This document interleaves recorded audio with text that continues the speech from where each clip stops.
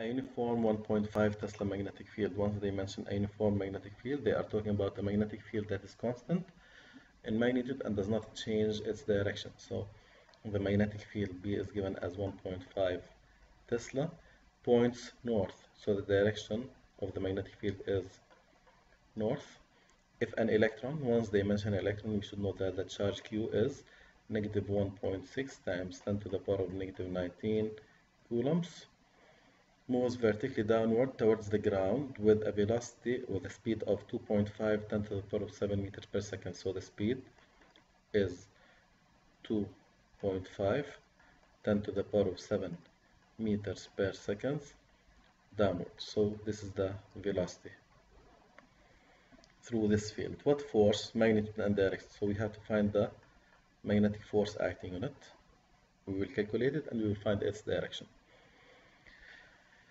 For this system, to find the magnetic force, you will use the formula for the magnetic force acting on a charge in a magnetic field. So Q V B sine theta. Okay. The force, we have to find it, equals negative 1.6 times 10 to the power of negative 19. V is 2.5 10 to the power of 7 b is 1.5 sine. What is the angle between the direction of motion and the magnetic field? The direction of motion which is v it is down. When we say x it means down or into the page. So this is the direction of motion. And the magnetic field is towards north so it is going this way then the angle is 90 degrees. The answer for F will be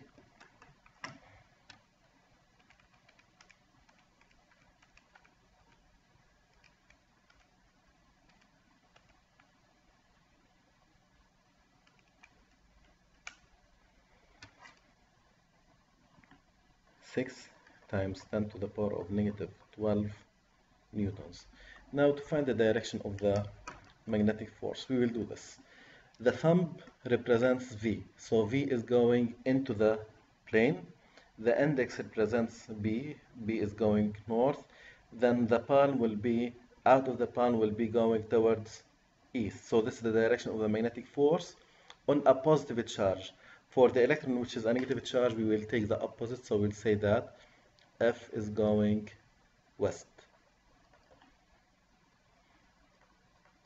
Again, for the direction, we use the right hand rule where V is represented on the thumb, B is on the index, and the palm of the hand is the force, represents the force.